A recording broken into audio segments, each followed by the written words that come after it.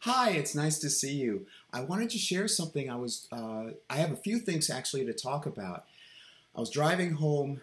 Um, I had another video I had planned to work on today. It's uh, the evolution of Kabbalah, uh, explaining more about what Kabbalah actually entails. It's part of my ongoing series of videos putting together how the Bible may have been written, you know, how it may have been structured and so forth. I covered this in earlier videos, but I was driving home from the grocery store just a few minutes ago, and I I thought about uh, something that I it was a YouTube video I had watched. It was a very fascinating video. It's called the Why Files, uh, or WF for short, and it's simply somebody who explains typically the paranormal uh, explains directly to the camera some topic like uh, specific ghost hauntings or uh, the Annabelle, the real story behind Annabelle possessing a doll, and UFOs uh, and Roswell and so forth. It's kind of like uh, a TV series that I enjoyed. I have the DVD set over there. I think it's a Canadian release, but it was an American TV show uh, it was hosted by Leonard Nimoy of Star Trek fame. It's called In Search of. That aired in the uh, sometime in late 70s, like 78 into early 82. So he must have been continuing to do that while he was.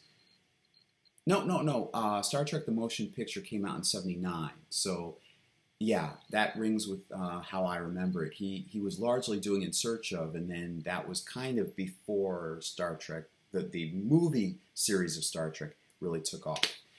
So, anyway, uh, he was talking about how uh, there are journalists who are paid by the CIA or in the CIA's pockets, I sort of want to say.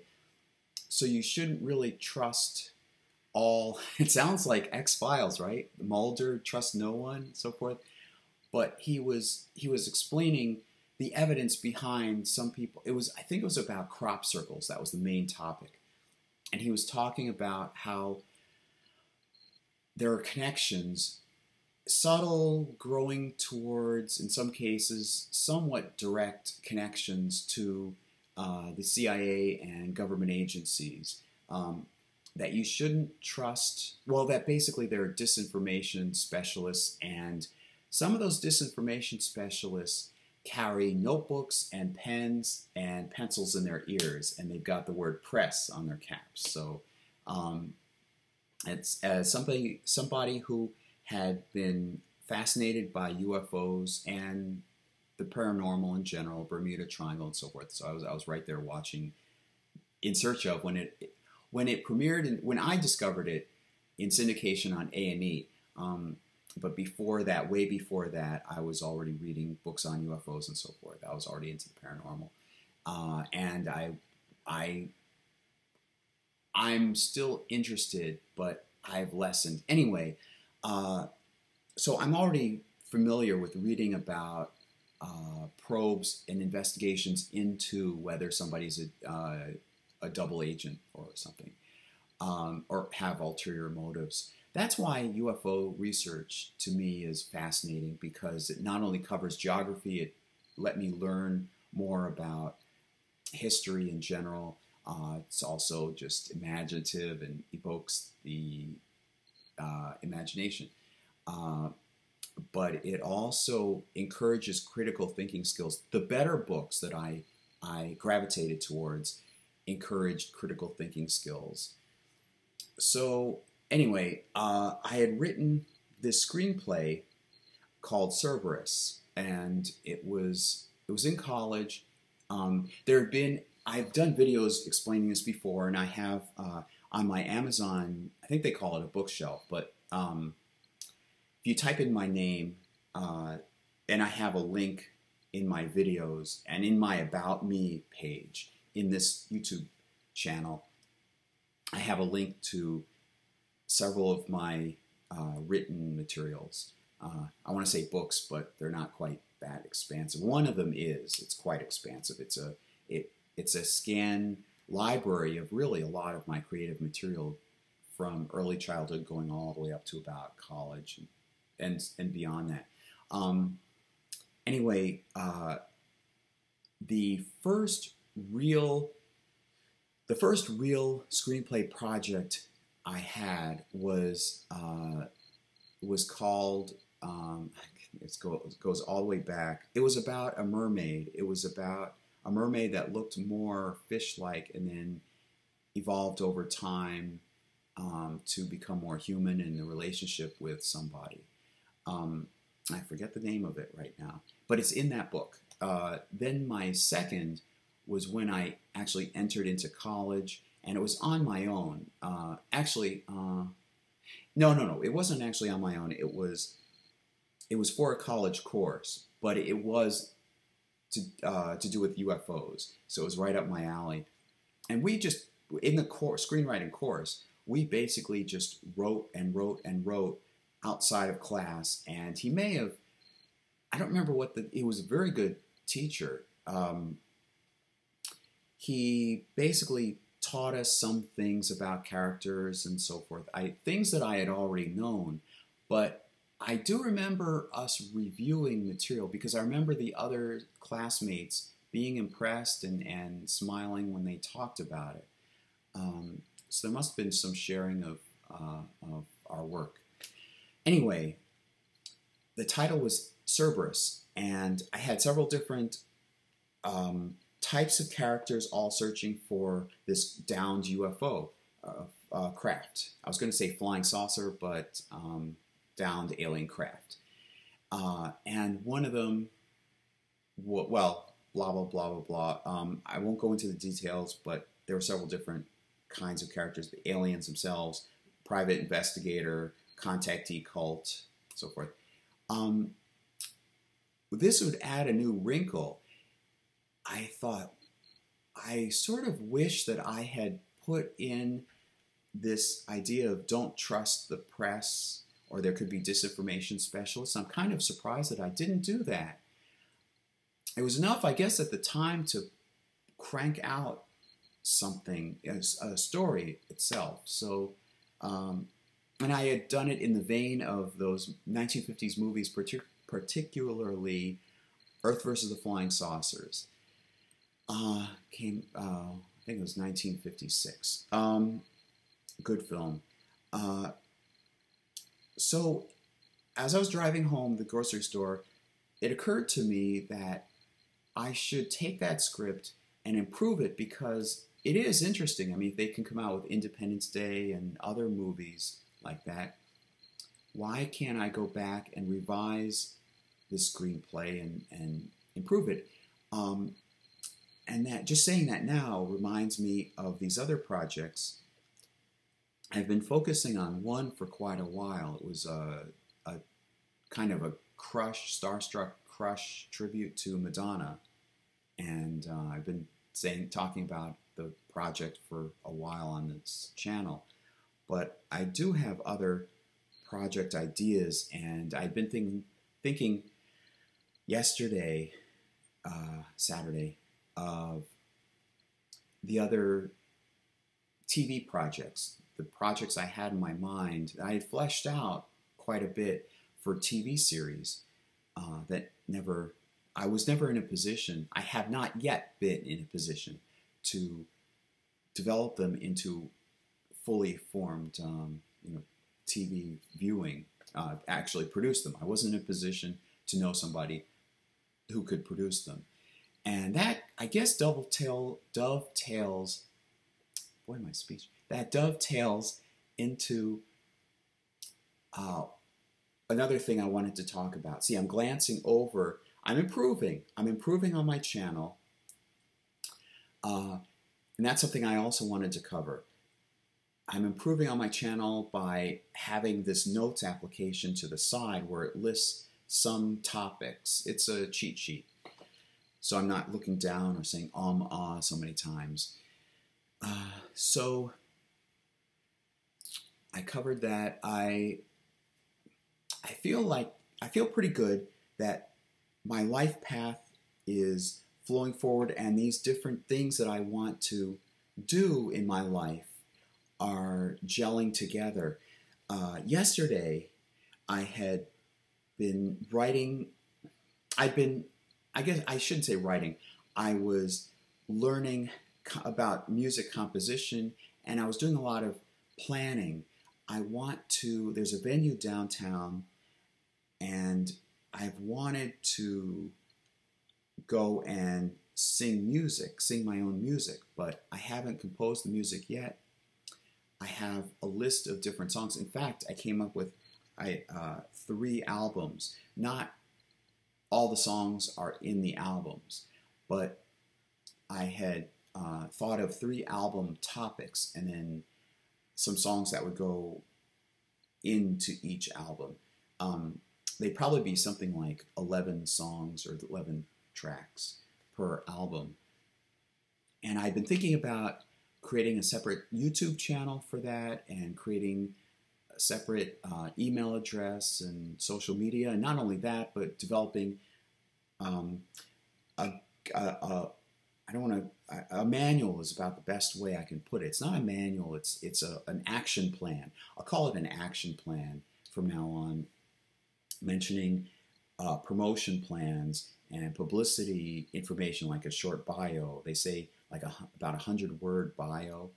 I'm not sure if that's a long one or the short version, but uh, and how to pose for publicity photos and so forth.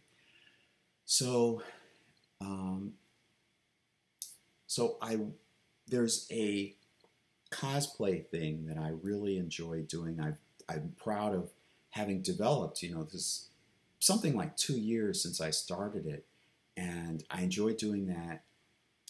I I can feel the benefits of writing music. You know, it takes a long time to write a screenplay, but perhaps I can do the cosplay and do the music gelled together. And it gives me an opportunity, if I go to these venues, it gives me an opportunity to put on this persona and uh, perform in front of an audience and get that experience. And maybe somebody will notice me and, and things will go from there. So, in some sense, that's what I mean by life gelling together. And I should say that, in terms of advice, uh, I've always, since childhood, I've always, especially, especially in childhood, I've always just gone with. This is a bit of introspection on myself. I've always gone with my passions. You know, when I was in school, school was more structured and outside of school, I didn't have as many as much responsibility, as many different obligations as I do now. So I I watched TV and I enjoyed film and I wrote stories and drew artwork and so forth. I was a, a good graphic. Uh, I don't know if you want to call it graphic artist, but um, if you, I was a realistic drawer.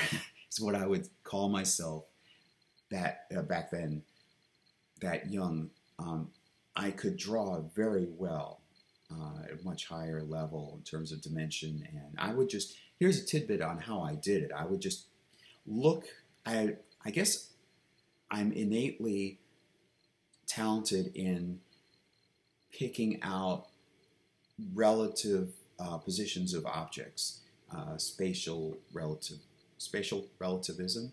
Uh, so I would look at what I wanted to draw and I would pick out some part of it, uh, maybe some part where a lot of the different uh, aspects, a lot of the different objects in the scene uh, touched each other.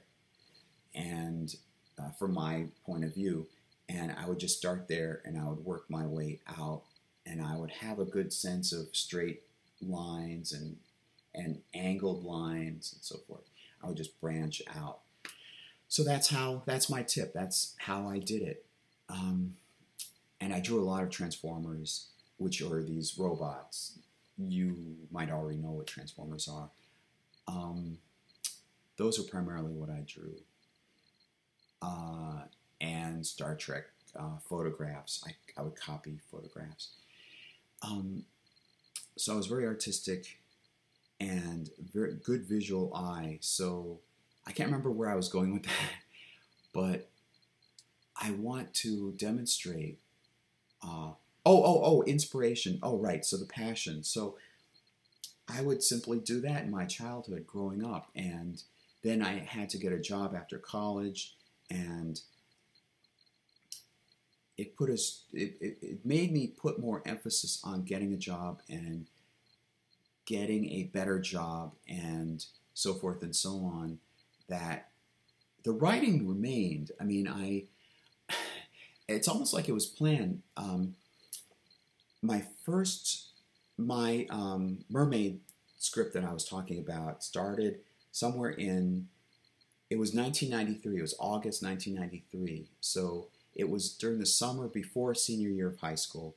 And then uh, then in college i worked up to 1997 which was some year i was in a five year all year round um, schedule for college so somewhere in there, 1997 was when I wrote Cerberus, and then after that, I wrote a James Bond spoof or a parody or two, and then I worked up to this Madonna project, and then that's been my focus in terms of screenwriting. I did come up with about that same time. I did collect together these thoughts in my mind of different TV shows and I kept that going for a while. But the main focus was on that Madonna project, and I hadn't really been writing other things script wise. So that's another reason why I want to get into writing music because um, you can express yourself very well through music and you can demonstrate, like, I want to perform on stage. And it's difficult, really, to be able to perform a whole play if you're only one person. And, and that's, I think, one of the things that has inhibited me all this time. It's because I focused on the screenwriting, which is all in your mind, and you can't really you can't really perform it. Um, I've been thinking about this. I think about saying what I'm going to say, but thinking about and thinking about for a long time. I look back and, you know, there were talent shows in elementary school. Let's go back to elementary school. Uh, what did people usually do on stage? Like sometimes there was a magic trick. A lot of times there, there are people who sang, and I couldn't do that. I couldn't put what was in my mind, these visuals of storytelling, on stage.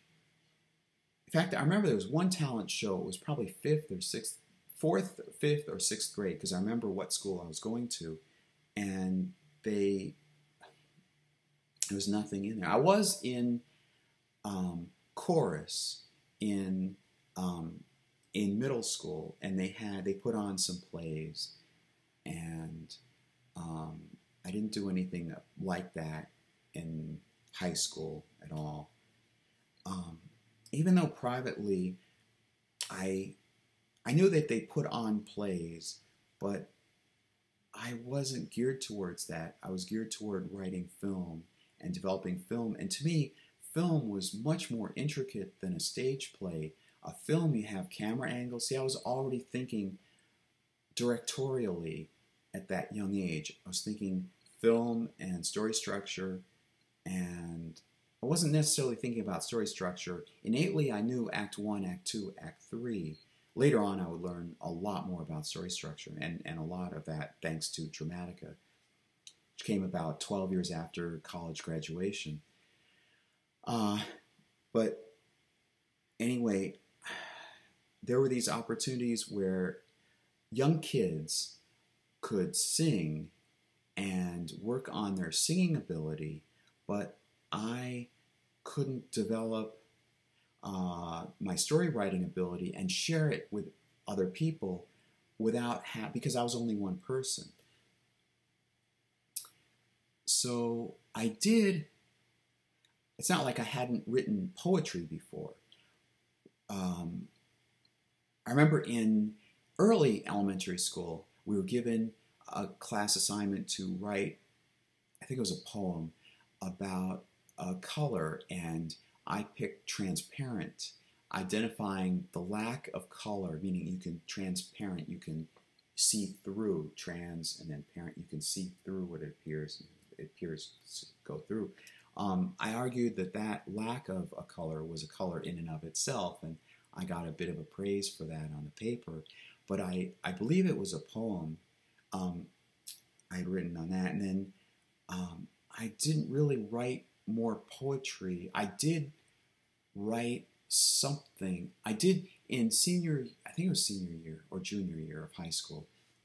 I wrote about, um, I wrote a poem about um, the stars, and we shot for the stars at one point, and we never went back. And it was written kind of in a malaise tone. Other than that, nothing really comes to mind in terms of poetry. Um, I keep looking at myself in the preview. I've got to not do that. I've got to look directly at you. Okay, I'm looking at you.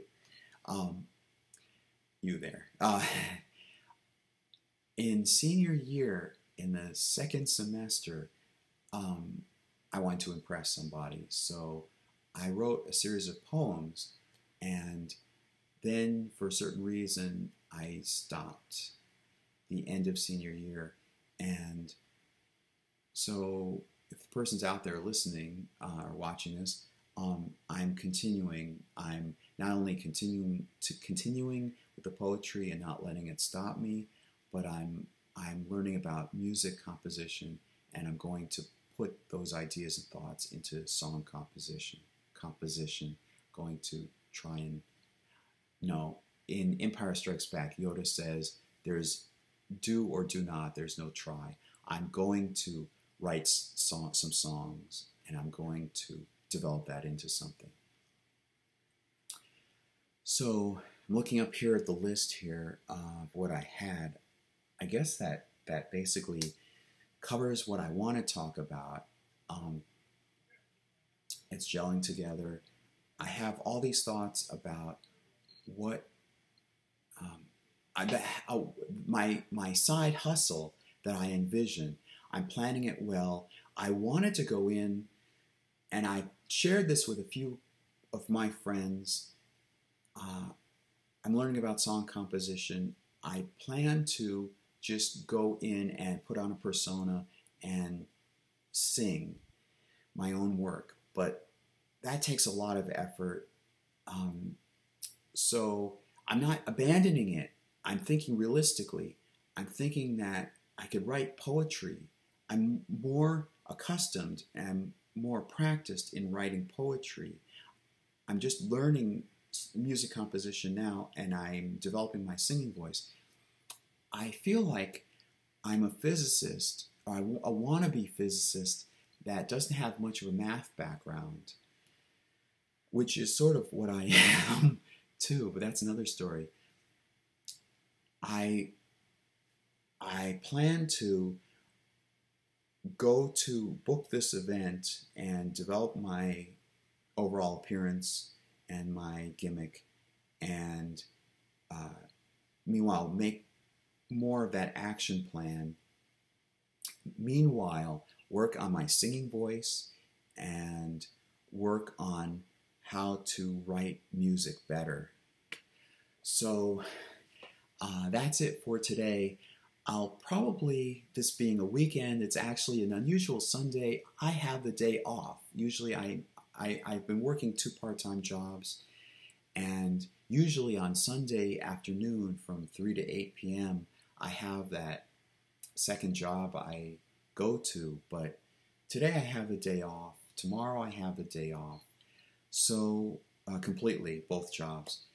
So, I may not do another video until later on this week, but chances are it'll be uh, about dramatic, uh, dramatica, it'll be about the history of Kabbalah, and that gives me a, enough time to learn more and take notes on Kabbalah. So that will probably be my next video. So I hope you stay tuned for that, and I'll see you next time. Bye.